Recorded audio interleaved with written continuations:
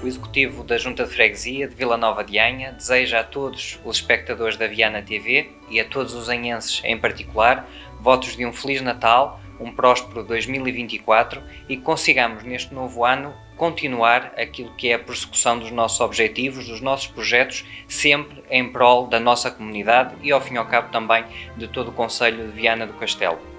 Neste ano 2023, apostamos acima de tudo na concretização de alguns objetivos muito centrados na melhoria das condições de acesso à educação, nomeadamente na reestruturação da Avenida do Cruzeiro, Reestruturamos também toda a nossa vertente digital com o nosso website, com a nossa nova aplicação móvel também para todos os anhenses e esperamos em 2024 conseguir concretizar novos projetos, acima de tudo assentes na remodelação de infraestruturas e também na melhoria das condições da própria infraestrutura da Junta de Freguesia de Vila Nova de Anha com a nossa nova sede. Por isso, mais uma vez, um Feliz Natal e um próspero 2024.